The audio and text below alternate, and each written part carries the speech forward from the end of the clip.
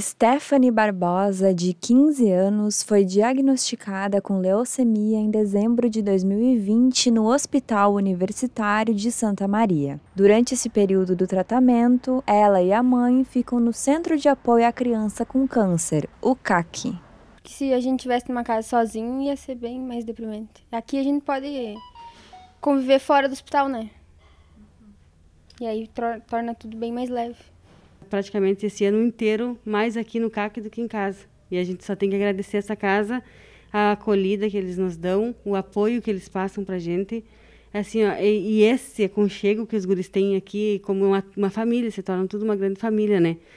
É, então é maravilhoso. E é essa cartinha que a gente tem a oportunidade dos filhos receberem para ganhar os presentes de Natal, isso dá um aconchego maior, porque a, a gente, querendo ou não, tem despesa, está fora de casa, né? E o ano passado a gente passou o Natal no hospital, Natal e o primeiro de ano. E esse ano, se Deus quiser, a gente quer estar em casa no Natal. Há 25 anos, o CAC foi criado para acolher as crianças diagnosticadas com câncer no Hospital Universitário de Santa Maria. Aqui, eles recebem hospedagem, alimentação, atividades recreativas e atendimento psicossocial. Para o Natal, 27 dos 76 assistidos pelo CAC enviaram seus pedidos para a campanha Amigo Secreto de Natal do Diário. Que essas crianças e esses adolescentes eles estão aqui em tratamento oncológico, né? E muitas vezes a sua família não tem condições muito de, de dar um presente de Natal. Então essa ajuda, né, e a, a adoção dessas cartinhas vai ser muito importante para que eles possam passar o Natal mais tranquilo, né, na medida do possível.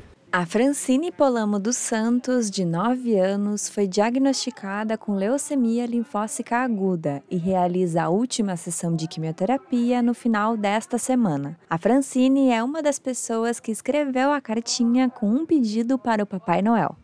Na cartinha daqui do CAC eu pedi slime, um kit de fazer slime. Tem cola, ativador, tinta, glitter para fazer slime.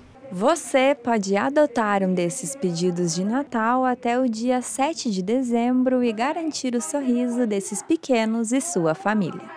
Adote uma cartinha e juntos vamos fazer um Natal com mais amor. Coca-Cola sem açúcar e Prefeitura de Santa Maria apresentam Amigo Secreto de Natal. São 22 entidades participantes e mais de 2 mil pedidos. Adote uma cartinha e entregue o presente nas sedes dos patrocinadores até o dia 7 de dezembro. Realização: Diário. Patrocínio: Eni Calçados e Fundação Eni. Unimed, Elegância Center Shopping, Sicredi e Livraria da Mente.